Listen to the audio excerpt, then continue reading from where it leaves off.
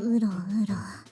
そわそわキューボ初デートでのキスの仕方。セミちゃんブロックしてもいい？これでも真面目な相談なんだけど。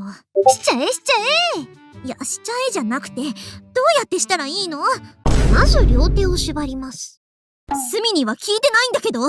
次に両足を縛ります。どっちが先でもよくない？最後に逆さまに吊るしてからほっぺにチューします。猟奇的な手順踏んでおいてやることがピュア。ただのサイコパスじゃん。っていうかキスだけで済むの？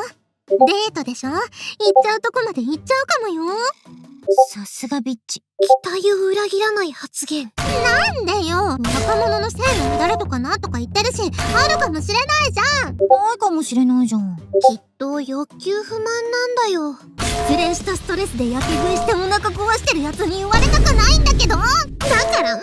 私は失恋してないよ。キスならほっぺにしたことある私の方がまだリードしてるんだから。ダメだこりゃ。